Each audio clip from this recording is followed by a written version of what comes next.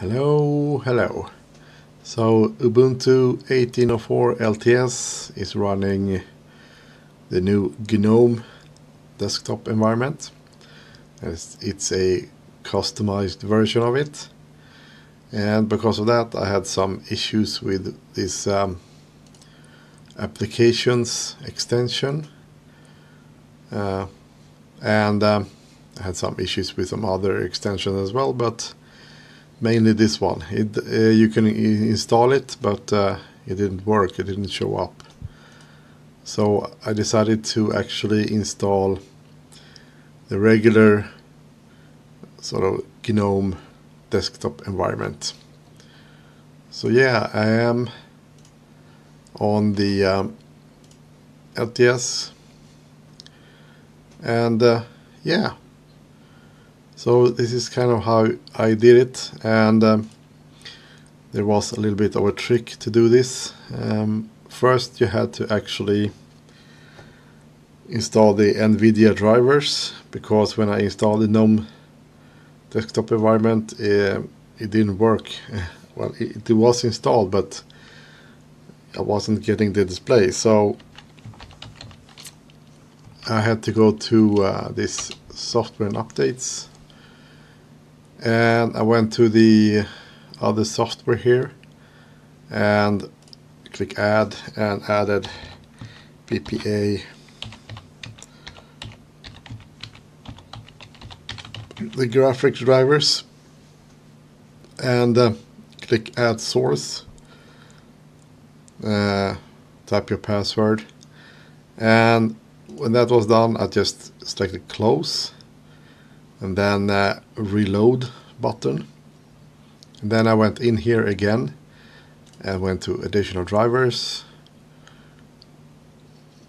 And I selected the uh, sort of latest version of the drivers here and installed that. And after that was in installed I rebooted or restarted the computer logged in again. And then it was actually time to uh, install the uh, default GNOME. So I went to the terminal and over here I just typed sudo apt get install and uh, GNOME session. So that's what I typed and I have it already installed so I'm not going to do it again but I let it install and then I actually restarted the computer again. Uh, it's not enough with you know log out. Nope.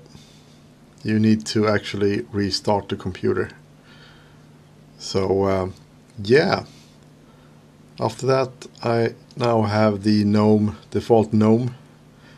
And if I open for example this and by the way, when you uh, log in next time, you know, I have an image here.